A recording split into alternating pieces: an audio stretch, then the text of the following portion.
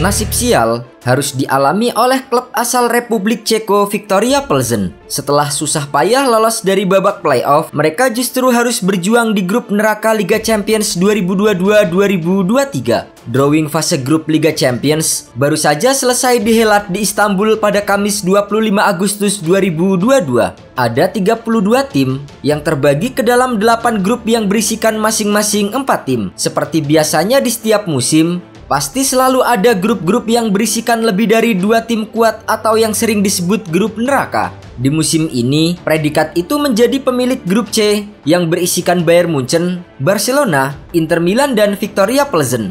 Dari keempat tim itu, jelas Victoria Pleasant menjadi tim yang paling tidak dijagokan lolos atau bahkan mereka malah tidak dianggap. Persaingan hanyalah menjadi milik Bayern Munchen, Barcelona dan Inter Milan untuk berebut dua jatah tiket ke-16 besar. Sementara yang kalah harus turun kasta ke Liga Eropa. Pleasant yang menempati pot 4 memang hanya bisa pasrah ketika nama mereka menjadi yang terakhir keluar dari mangkuk undian. Mau tak mau, Pleasant kini harus menghadapi persaingan panas di grup C.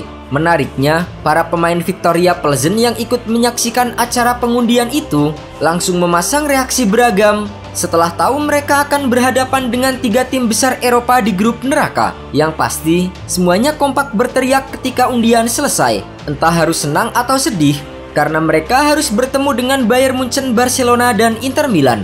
Bahkan, dalam video yang beredar, ada salah satu staf yang garuk-garuk kepala karena saking terkejutnya mereka masuk grup neraka. Dalam video yang diunggah oleh akun Twitter at FC Victoria Pleasant, ada pemain yang sedang menggendong anaknya dan berkata akan bertemu dengan pemain top seperti Robert Lewandowski, Sadio Mane, dan Romelu Lukaku. Kami tunggu kalian semua di Dusan Arena, at FC Bayern Munchen, at FC Barcelona, dan at Inter Milan. Ujar akun Twitter Victoria Pleasant. Perjalanan Victoria Pleasant untuk menembus putaran final Liga Champions musim ini terbilang tidaklah mudah. Setelah menjuarai Liga Ceko musim 2021-2022, mereka memulai perjalanannya di Eropa pada babak kualifikasi kedua dan berhasil menang dengan skor 7-2 atas HJK Helsinki. Berlanjut ke babak ketiga, Pleasant berhasil menyingkirkan tim kejutan musim lalu FC Sheriff Tiraspol dengan agregat 4-2. Sampai di babak playoff, Pleasant dihadapkan dengan lawan sulit saat mereka bertemu dengan wakil Azerbaijan Karabakh FK.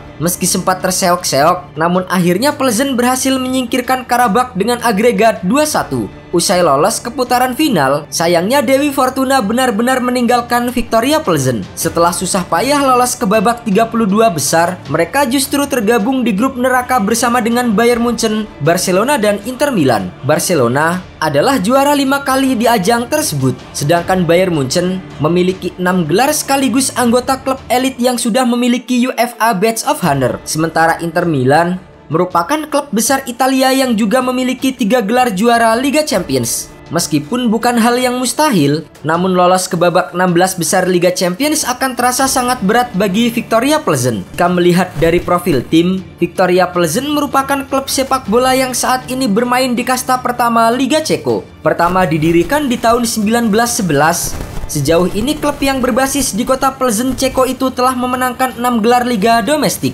Jika berbicara tentang kedalaman skuad, mungkin tidak banyak ditemukan nama-nama yang familiar di telinga. Meski begitu, Victoria Pleasant memiliki banyak pemain lokal asal Ceko di skuad mereka. Selain itu, para pencetak gol mereka di Liga Champions musim ini bisa dibilang cukup merata.